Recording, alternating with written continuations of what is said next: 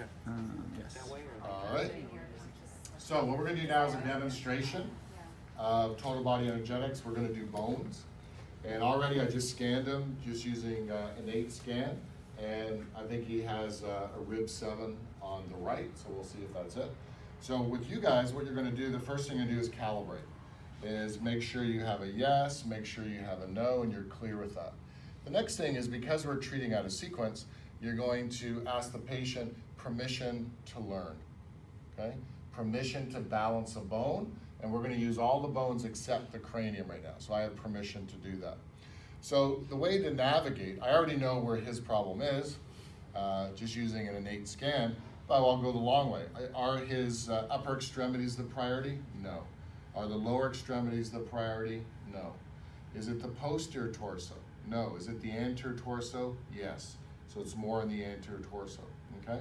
So now we have this whole area here. So I would say, is it on the uh, left side? No. Is it on the right side? Yes, okay? Is it something, let's see, uh, below my hand? No. It's above my hand? Yes. So it's in this region here. So in this region, I'm looking for a bone, so it's going to be a rib. So you could actually say, is it, you know, ribs uh, one to four? No.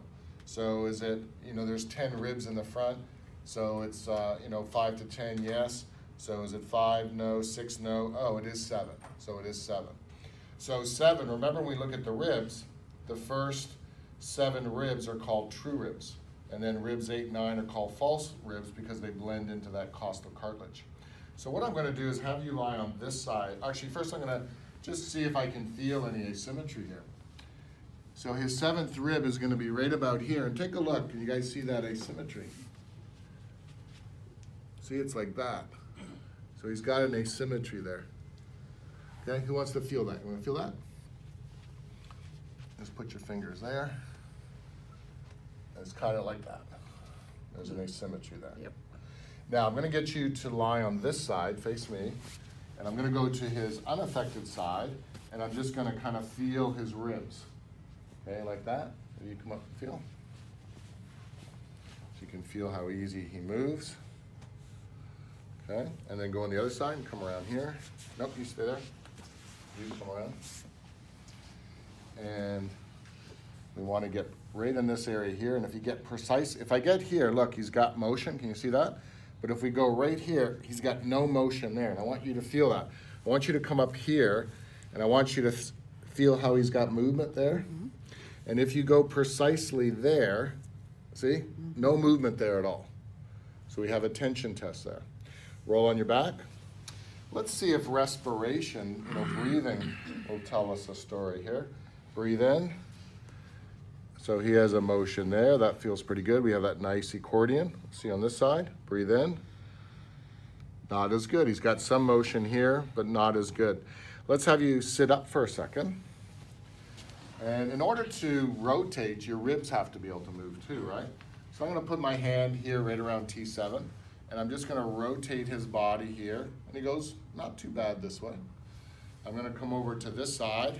Ah, there's a definite difference. Still, come over and feel. That's very. So put your hand here, that's your sensory hand. Other hand in front, and you're gonna rotate him towards you, and you're gonna see he moves quite easy. Switch hands, come over to this side, and you'll see that's where he's restricted. So he stops right there. Mm-hmm. Good. Let's have you lie back down. So we got enough things that we can measure. And the reason why we do this evaluation is to show change. So the thing that we're practicing right now is realignment. So I'm going to come in here and take out that hologram of the seventh rib. So I have it here. And all I'm gonna do is observe it. And what he's gonna do is you're gonna tap over your heart. And as he does this, I can feel it wanting to come down and rotate in this position, right there. And there's its resting place there. I'm just gonna hold it, and he's just doing nice little breaths. And the activating force we're going to use is a recoil. Breathe in. And out. Breathe in.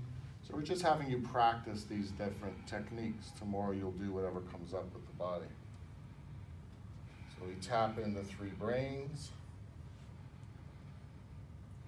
down. And breathe in.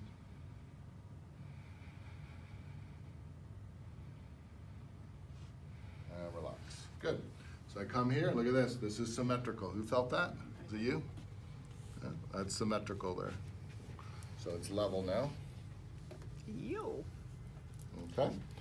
And we'll get you to lie on this side. Who felt the rib? So remember it was over in here? Look at this, guys. That's a lot better. Yeah. Okay, let's lie you on your back. Let's feel the respiration. Breathe in. Oh, that's a lot better. I don't think I had anybody feel that, did I? There, but you can see, we'll do it again. Mm-hmm. That's a lot better. Now let's have you sit up. Let's check rotation. This is the one that was stuck. Look at the difference now. Wow. Totally opened up. So doing this energy work, you can see that it just helped. It basically took uh, the particle of that rib and turned it into waveform and gave it a new potential. You can see how much softer that is. All right, good. Thank you. Yep. All right, that's good.